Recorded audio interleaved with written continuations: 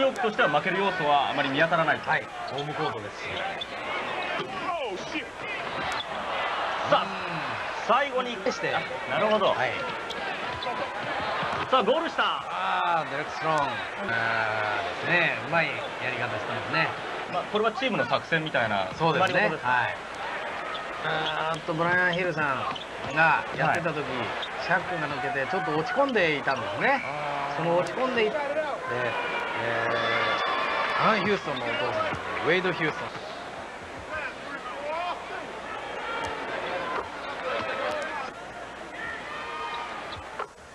さあ2投目もチャーリー・ウォードですね、ええ彼やっぱり187、8ですよ、その控えのガードをやれるくらいのはい能力があるわけですから。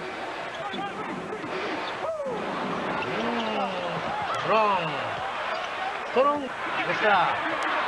ロングリバウンド、さあ、ペニーいった。ここはなんとかマジックとしてはこの時間帯突き放したい。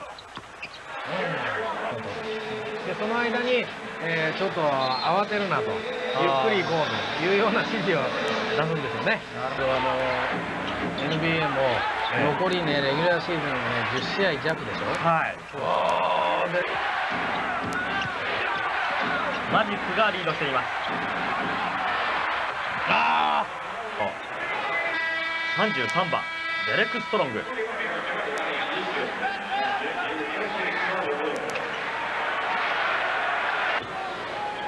試合の方が終了しました